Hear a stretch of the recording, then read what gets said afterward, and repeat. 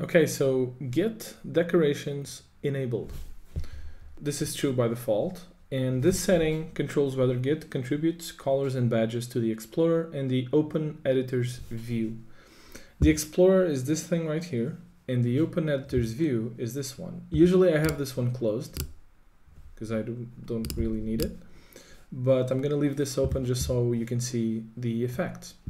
Now, this git decorations enabled is like the master switch and then you have two other settings here that pertain to the explorer only. So explorer decorations badges and explorer decorations colors. So if you turn the badges off you'll stop seeing these badges here. And if you turn colors off you'll stop seeing the uh, color-coded file names, right?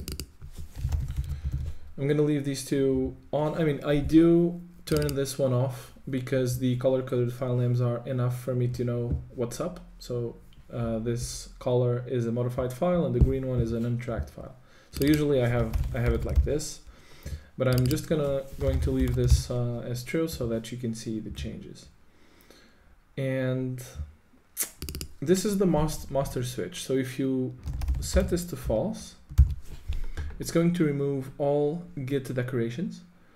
Uh, and if you set it to true again and save the file, it's not going to put them there again. You have to actually reload the window or restart VS Code. And there we go.